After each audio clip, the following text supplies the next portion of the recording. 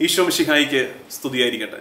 September എട്ട് പരിശുദ്ധി അമ്മയുടെ പിറവി തിരുനാൾ. എല്ലാവർക്കും തിരുനാളിന്റെ മംഗളങ്ങൾ ഏറെ സ്നേഹത്തോടെ നേരുകയാണ്. ഒന്നാം തീയതി മുതൽ നമ്മൾ നടത്തിയ ഒരു യാത്ര ഇവിടെ സമാപിക്കുകയാണ്. അമ്മ മരത്തണലിൽ ഇനിയും മറ്റൊരു യാത്രയിൽ നമുക്ക് ഒരുമിച്ച് നടക്കാം. പ്രാർത്ഥിക്കണം. ഫീഡ് മൈ ഷീപ്പ് മിനിസ്ട്രിക്ക് വേണ്ടിയിട്ട്. ഈ ദിവസങ്ങളിലൊക്കെ പരിശുദ്ധ അമ്മയെക്കുറിച്ച് പിതാക്കന്മാർ പറഞ്ഞ വാക്കുകളെ വാക്യങ്ങളെ എടുത്ത് ധ്യാനിച്ച് തുടങ്ങി നമ്മുടെ കാലവുമായിട്ട് ബന്ധിപ്പിക്കാൻ നമ്മൾ ശ്രമിക്കുകയായിരുന്നു. പരിശുദ്ധ അമ്മയെക്കുറിച്ച് നാല് വിശ്വാസ സത്യങ്ങളാണ് ഉള്ളത്. പരിശുദ്ധ അമ്മ നിത്യകന്യകയാണ് അവൾ സ്വർഗാരൂപിതയാണ് ദൈവമാതാവാണ്. മൂന്നെണ്ണം പറഞ്ഞു. ഈ മൂന്നെണ്ണവും നമ്മൾ ഈ ദിവസങ്ങളിൽ ചിന്തിച്ചായിരുന്നു.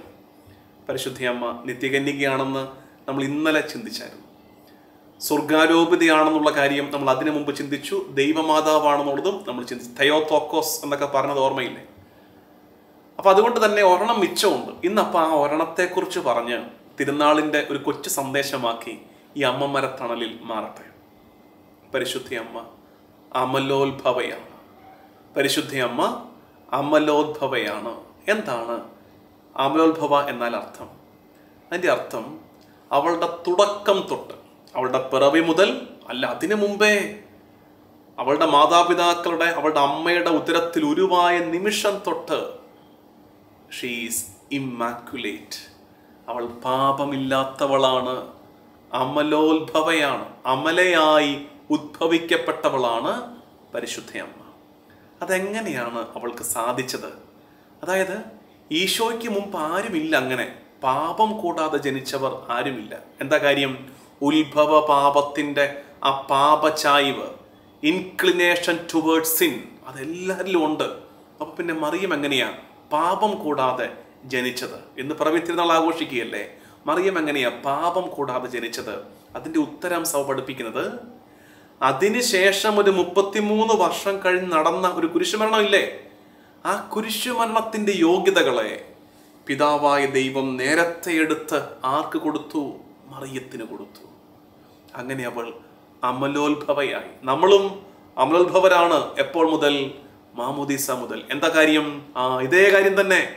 കുരിശു മരണത്തിന്റെ യോഗ്യതകളെ സഭ എടുത്ത് നമുക്ക് നൽകുമ്പോൾ ഉത്ഭവ പാപത്തിന്റെ കറകൾ മാഞ്ഞുപോയി നമ്മളും നിർമ്മലരാകുന്നു. അതേ പ്രോസസ്സാണ് അവിടെ സംഭവിച്ചത്. കുരിശു മരണത്തിന്റെ യോഗ്യതകളെ നേരത്തെ എടുത്ത് മറിയത്തിൽ നിക്ഷേപിച്ചു. അങ്ങനെ അവൾ അമലോത്ഭവയായി. എന്തിനായിരിക്കണം അവൾ അമലോത്ഭവയായി ജനിച്ചത്? അമലയായി പാപമില്ലാതെ ജനിച്ചത്? അതാണ് നമ്മുടെ ഇന്നത്തെ പ്രാർത്ഥന. അതിന്റെ കാരണം വലിയ കാര്യങ്ങൾക്ക് വേണ്ടി വിളിക്കപ്പെട്ടവളാണ്. വിളിക്കപ്പെടാൻ പോവുകയാണ് ആര്? മറിയം. അതറിയാവുന്ന ദൈവം. ആ നിയോഗങ്ങൾ പൂർത്തിയാക്കാൻ തക്കവിധമുള്ള കൃപകളെ മറിയത്തിൽ നേരത്തെ നിക്ഷേപിച്ചു.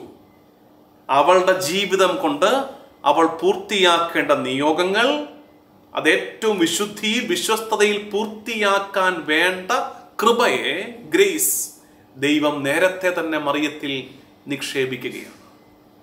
അപ്പൊ നമ്മൾ പ്രാർത്ഥിക്കേണ്ടത് എന്താണെന്നറിയാമോ?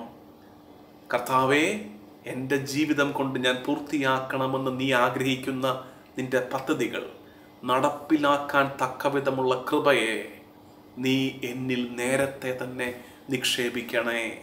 നമ്മളെന്താ ചെയ്യാറുള്ളേ? ഒരു പ്രശ്നം വരുന്നു ഒരു തടസ്സം ഉണ്ടാകുന്നു. ആ നേരത്ത് പ്രാർത്ഥിക്കുന്ന കർത്താവേദ പ്രശ്നമുണ്ട് കൃപതായോ സഹായിക്കോ എന്ന് പ്രാർത്ഥിക്കുകയല്ലേ? അങ്ങനല്ല പ്രാർത്ഥിക്കേണ്ടത്. നേരത്തെ കൂട്ടിത്തരണേ. എന്റെ ജീവിത വഴികളിൽ വരാനിരിക്കുന്ന ഒരുപാട് കാര്യങ്ങൾ കർത്താവ് നിനക്കറിയാമല്ലോ. ആ കാര്യങ്ങളെ നിന്റെ കൈ പിടിച്ച് നടന്ന് അതിജീവിക്കാനുള്ള കൃപ ശക്തി എനിക്ക് നീ നേരത്തെ തരണമേ എന്ന്. നമുക്ക് ദൈവത്തിന് മുമ്പാകെ പ്രാർത്ഥിക്കാം. കൃപയിൽ നമുക്ക് വളരാം. Let's grow in grace let's grow in grace നമുക്ക് പ്രാർത്ഥിക്കാം.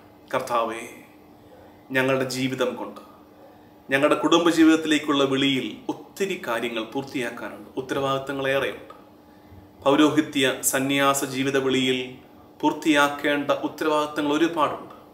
അത് പൂർത്തിയാക്കാൻ തക്കവിധമുള്ള കൃപയെ പരിശുദ്ധ അമ്മയെ നീ നേരത്തെ തന്നെ കൃപ കൊണ്ട് നിറച്ചതുപോലെ ഞങ്ങൾക്കും മുൻകൂട്ടി മുൻപേറ് ആ കൃപ നൽകി അനുഗ്രഹിക്കണമേ എന്ന് പരിശുദ്ധ അമ്മയുടെ ശക്തിയേറിയ മാധ്യസ്ഥ്യം വഴി പ്രാർത്ഥിക്കുന്നു.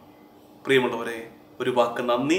ഈ എട്ട് ദിവസം ഒരുമിച്ച് നടന്നതിന് എന്നെയും ഈ ശുശ്രൂഷയും ഫീഡ് മൈ ഷീപ്പിന്റെ സഹായിക്കുന്ന ഒരുപാട് പേരുണ്ടെന്ന് നിങ്ങൾക്കറിയാം. എല്ലാ രീതിയിലും സഹായിക്കുന്ന ഒരുപാട് പേരുണ്ട്. അവരെയൊക്കെ ഈ ദിവസങ്ങളിൽ പ്രാർത്ഥിച്ചതിന് ഓർത്ത് പ്രാർത്ഥിച്ചതിന് ഇനിയും ഞങ്ങൾക്ക് വേണ്ടി പ്രാർത്ഥിക്കുന്നതിന് ഫീഡ് മൈ ഷീപ്പ് കുടുംബത്തിന്റെ ഭാഗമായിരിക്കുന്നതിന്. ഹൃദയപൂർവമായ നന്ദി. ദൈവനാമത്തിന് മഹത്വം ഉണ്ടാകട്ടെ ആമേൻ.